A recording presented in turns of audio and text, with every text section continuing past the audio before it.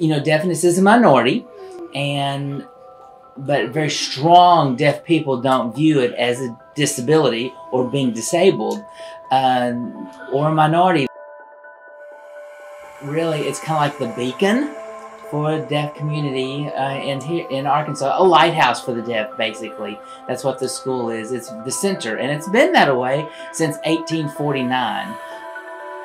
Uh, in 1965, when the school was integrated from Madison School, the kids didn't see skin color, they saw communication. There were no race riots on campus because communication and they were all able to associate with each other, played football, basketball, and again, the communication was the key.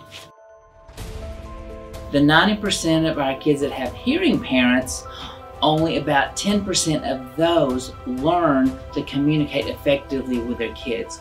So we have 80% of our kids on campus that basically when they go home on the weekends have no communication with their family. So this, the school, becomes their family because of the communication. Really, deafness, uh, basically deaf people can do anything they want to do because it's just not hearing. You know, we've got a whole list of other things we can do. Technology, you know, is getting better and better and more things are being exposed to deaf people. Uh, we learn how to uh, be in school and make them succeed. And it all comes back to the school.